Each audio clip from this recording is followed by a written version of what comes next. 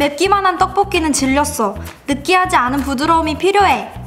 음, 역시 매콤 까르보나라 떡볶이. 크리미한 식감, 풍부한 갈릭의 풍미, 그리고 달콤 새콤한 로제 크림? 아, 미쳤다. 존맛탱. 나는 바보야. 크림밖에 모르는 바보. 잠깐만.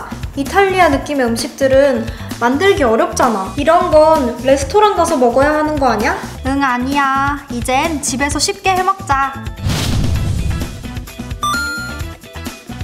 리조또는 밥, 버섯, 우유만 준비하고 떡볶이는 떡, 베이컨, 우유만 준비하면 돼. 흐르는 물에 떡을 씻어 준비한 후 베이컨을 먹기 좋은 크기로 썰고 팬에 식용유 4스푼을 두른 후 잘 볶아줘. 잘 볶아졌으면 떡과 함께 고메 레시피 양념 투하. 그리고 맛있게 익을 때까지 약 7분간 조리하면 완성. 꾸덕꾸덕 매콤 까르보나라 떡볶이와 고소하고 달콤한 리조또. 고메 레시피만 있으면 뚝딱 완성이야. 다 만들었으면 버려.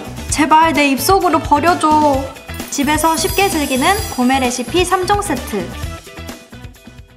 청정원